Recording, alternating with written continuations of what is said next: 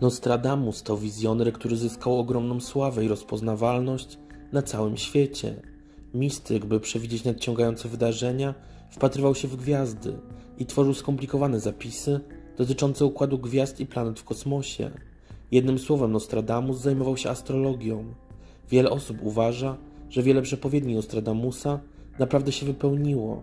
Między innymi pojawienie się niemieckiego kanclerza, które doprowadził do konfliktu na miarę światową, ale też bardziej współczesne wydarzenia związane z fanatykami islamskimi, którzy wtargnęli po cichu do Europy i wprowadzili tutaj wiele zamętu, mroku i odebrali ludziom spokój. A co Nostradamus napisał, jeśli chodzi o aktualny czas? Czy w 2023 roku czeka nas trochę oddechu po tych trudnych i niepokojących chwilach, które serwowały nam ostatnie lata? Oto proroctwa Nostradamusa. Chociaż temat ocieplenia na Ziemi nie jest niczym nowym, zgodnie z przewidywaniami Nostradamusa w 2023 roku może dojść do dalszego wzrostu temperatury i podnoszenia się poziomu mórz, a nawet tragedii, kiedy morze i oceany się zmienią. Nostradamus napisał: Jak słońce spali lśniące morze, żywe ryby Morza Czarnego prawie się zagotują. Kiedy Rodos i Genua będą na wpół głodne, miejscowa ludność wyjdzie, aby je poćwiartować. Czy Nostradamus przewiduje na 2023 rok wręcz apokaliptyczne wizje, jeśli chodzi o Morze Czarne? Co więcej, Nostradamus napisał, że świat będzie dalej biegł ku zniszczeniu. Nostradamus napisał: Przez 40 lat tęczy nie będzie widać. Przez 40 lat będzie go można oglądać codziennie. Sucha ziemia wyschnie jeszcze bardziej i będą wielkie powodzie, gdy się to zobaczy. Nostradamus zapowiada, że w 2023 roku czeka nas pewnego rodzaju bunt. Ludzie zaczną walczyć o swoje. Czeka nas walka klas społecznych. Wiele filmów kinowych pokazuje, jak bogaci i potężni ludzie organizują prawdziwe polowanie na ludzi biednych i uboższych. Czy w 2023 roku czeka nas odwrócenie ról i atak biedniejszych na bogatych? Przynajmniej tak może zrozumieć słowa Nostradamusa, które opisują naprawdę mroczny czas. Prędzej czy później zobaczysz dokonane wielkie zmiany, straszny mrok i zemstę. Trąba trzęsie się od wielkiej niezgody, zerwana umowa, podniesienie twarzy do nieba, zakrwawione usta będą płynąć krwią, twarz pomazana mlekiem i miodem leży na ziemi. Nostradamus też trochę pisał o papieżu końca świata. Czy tym papieżem będzie Franciszek? A może w 2023 roku czeka nas kolejny papież? Według słów Nostradamusa może tak być, że papież Franciszek odejdzie w 2023 roku i nadejdzie nowy papież, który będzie nosił cechy podobne świętemu Piotrowi. Będzie to papież czasów ostatecznych, czasów, w których Watykan zostanie zniszczony. Nostradamus napisał: Podczas ostatecznego prześladowania świętego Kościoła Rzymskiego będzie Piotr Rzymianin, który będzie pasł swoją trzodę pośród wielu udręk, po czym miasto na siedmiu wzgórzach zostanie zniszczone, a straszny sędzia osądzi lud. Koniec.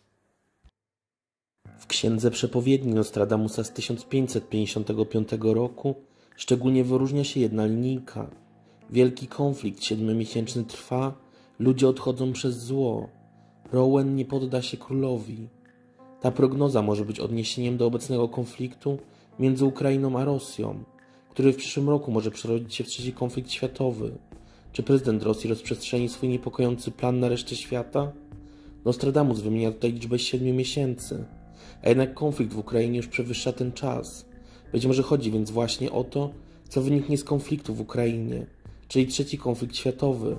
Tym bardziej, że Nostradamus wymienia tutaj francuskie miasto Rouen, co jeszcze bardziej sugeruje, że ten konflikt pójdzie dalej.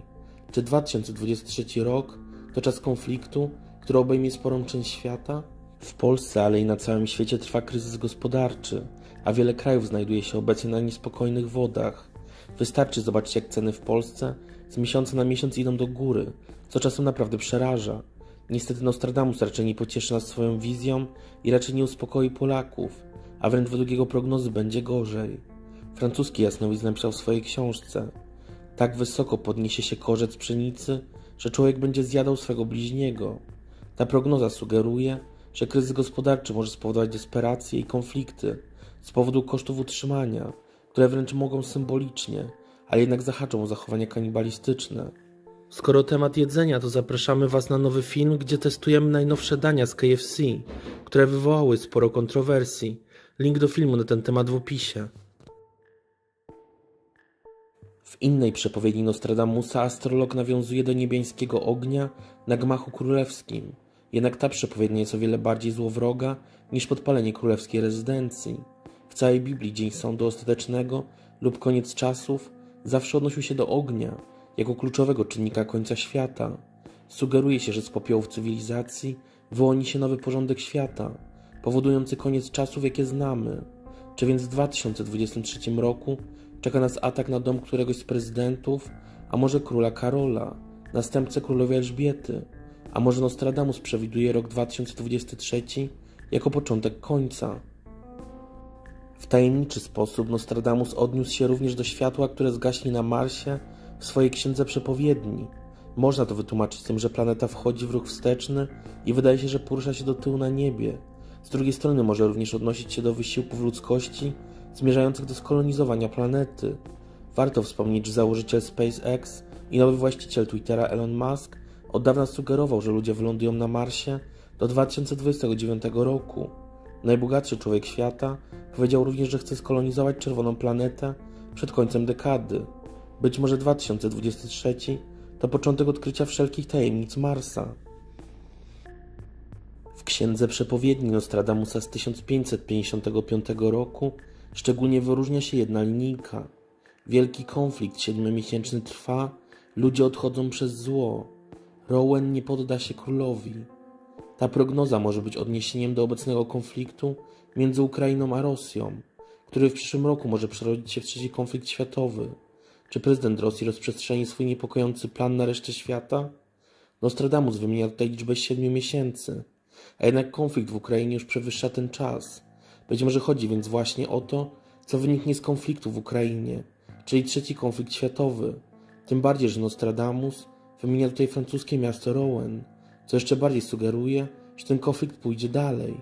Czy 2023 rok to czas konfliktu, który obejmie sporą część świata? Skoro temat jedzenia, to zapraszamy Was na nowy film, gdzie testujemy najnowsze dania z KFC, które wywołały sporo kontrowersji. Link do filmu na ten temat w opisie.